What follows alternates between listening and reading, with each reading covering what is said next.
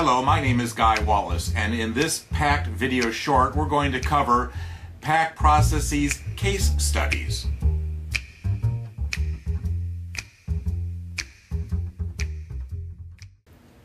PACT is an acronym, performance-based, accelerated, customer and stakeholder driven, training and development of any blend.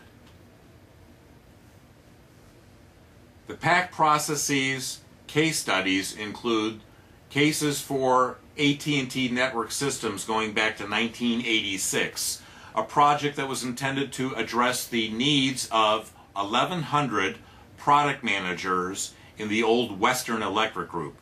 This particular project resulted in an eight-day learning event for these product managers that revolved around a series of simulation exercises that related to the life cycle management requirements and a functional model for the product managers that included their responsibilities to do financial analysis, market analysis, engineering analysis and planning, manufacturing analysis and planning, sales analysis and planning, etc.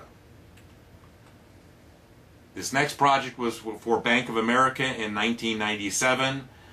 The training and development paths were put together based on three sets of content after the initial analysis was done and the best of the best was cherry picked from the three sets of content and where there were gaps those were prioritized and then developed the implementation of this training and development path and all of the content that supported it reduced turnover in the teller ranks by 30%.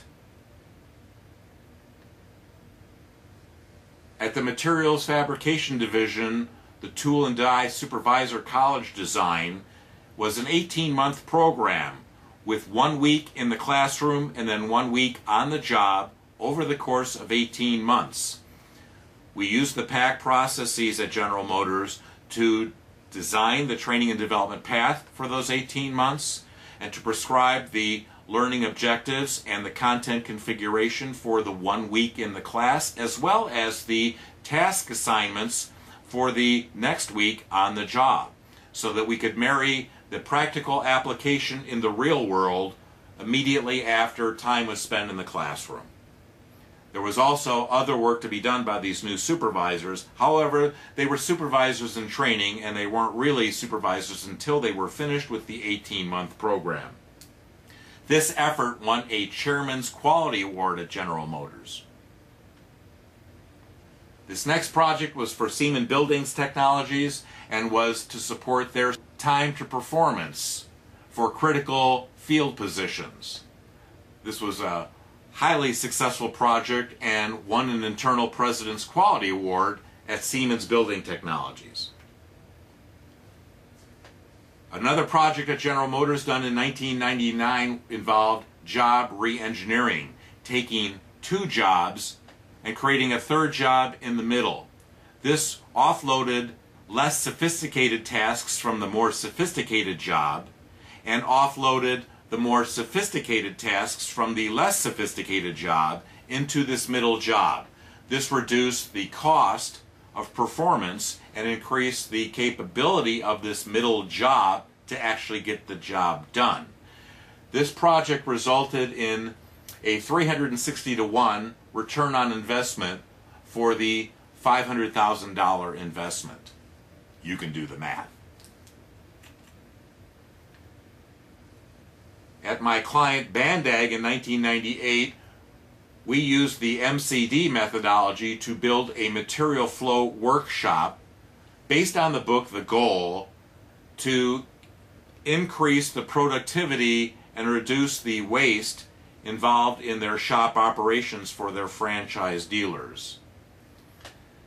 After the first shops were trained in the pilot session of this course, they were producing 30% more product at a 20% cost savings the very first week back on the job.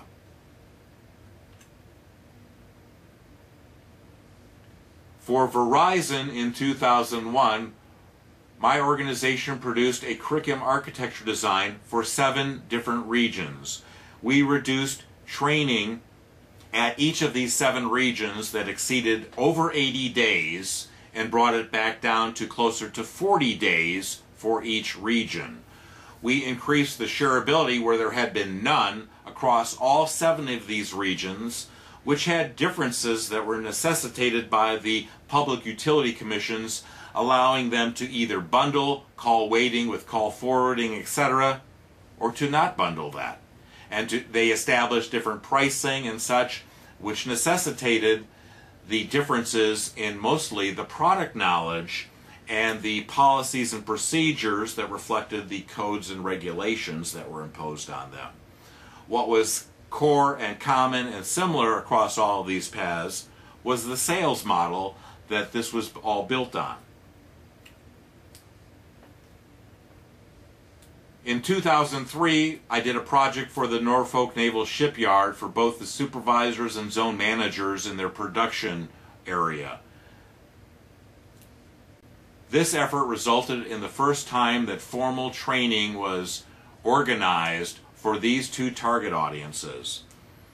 The genesis for the effort was the impending retirement of vast numbers of these current performers where it was estimated that the average length of time and experience was going to drop from 25 years per person to just over five years, and that was going to happen within five years.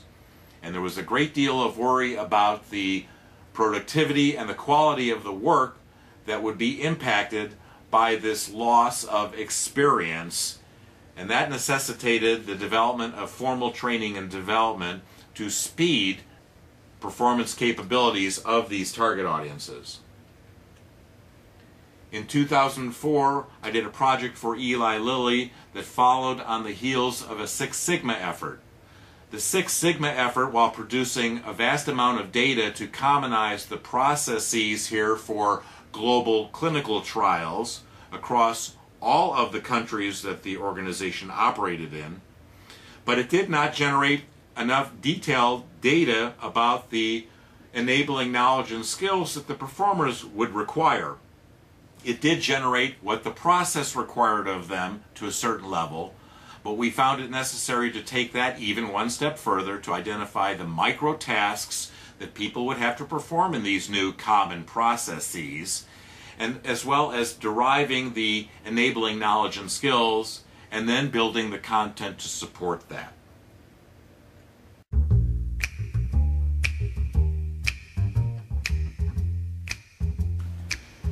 I hope that this video short and the series have been helpful to you in helping you to establish a practice of performance-based training and development, learning, and knowledge management.